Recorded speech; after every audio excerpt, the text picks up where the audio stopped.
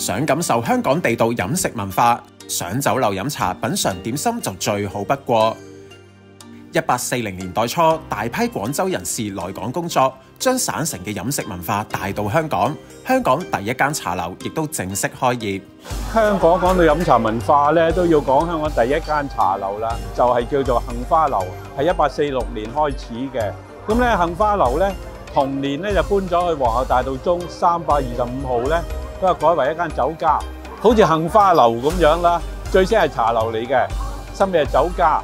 咁早期咧就茶樓同酒家咧，大家坐河漢界，泾渭分明嘅。茶樓咧淨係做早市嘅啫，由朝頭早四點鐘做到晏晝四點鐘，咁啊做埋午飯咁啊算數㗎啦。咁但係酒家咧就做晚市嘅啫，由下晝五點鐘做到夜晚兩點鐘。後來就咁啦，好多茶樓咧就做埋晚市啦，啲酒家咧亦都做埋午市啦。咁咧一路路咧呢種就撈亂咗啦。昔日茶樓由男士負責賣點心，一九五零年代開始興起由年輕女郎擔任點心妹。咁你為咗就啲點心妹咧，就唔俾佢咧捧一個大蒸籠出嚟啦。咁一個輕巧啲嘅鐵盤仔又或者一個鋁盤啊，咁俾佢捧。咁後來咧都唔得啦，啲嬌滴滴小姐咧，不如俾架點心車佢推嚟賣啦。因為咧後來咧就賣好多嘢嘅，包括賣碗仔翅啊之類，甚至賣糖水啊、誒韭菜豬紅啊咁樣咧。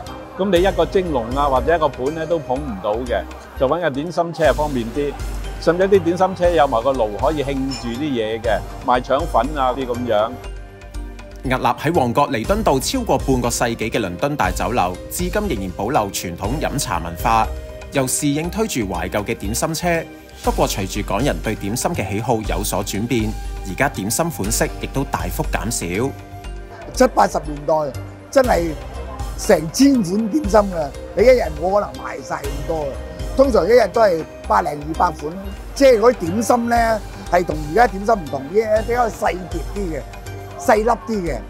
一籠燒賣啊係兩六至兩八嘅，而家嗰啲燒賣一籠咧係有成三兩一二嘅，大粒咗好多。所以以前咧你唔食一盅兩件係唔夠飽嘅。蘇生所打理嘅酒樓喺閒日依然高頻滿座，客似雲來，即製點心得到食客嘅追捧。高峰嘅期咧，我哋係做上萬幾籠點心嘅，真係懷舊嘅點心比較受歡迎咯。黑餃燒賣一般都有㗎啦，好似我哋啲炸芋角啊，或者啲糯米包同埋豬冷片啊，嗰啲懷舊嘢、辣腸片之類嗰啲嘢咧，多人都會欣賞，會中意食。埋呢個椰皇咁計咧，我哋每日賣上千個椰皇。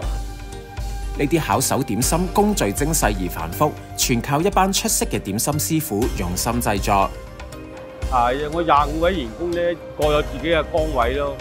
即係我哋自己喺工場做，同埋樣樣都係自己喺度加工咧，係唔同噶。我哋嘅點心咧，一般咧都係早上咧開市之後咧，都陸續咧都每樣都有供應㗎啦。而家我哋係推車仔賣㗎，所以咧要等佢哋翻齊啦，我哋即係可以出得齊所有嘅品種咁咯。不過近年點心師傅數量短缺，一啲連鎖酒樓就交由中央工場生產，倫敦大酒樓就堅持自家手工出品。即係少人入行啊！我哋年紀大啲師傅有啲退咗休咧，變咗我哋啲學徒咧係比較少啲嘅依家。近年香港湧現唔少嘅外賣點心店，但係充滿港式風味，點心車穿梭於餐桌之間，場面熱鬧嘅酒樓仍然有佢嘅引人入勝之處。有機會不妨再次去到酒樓品嚐真正嘅香港味道。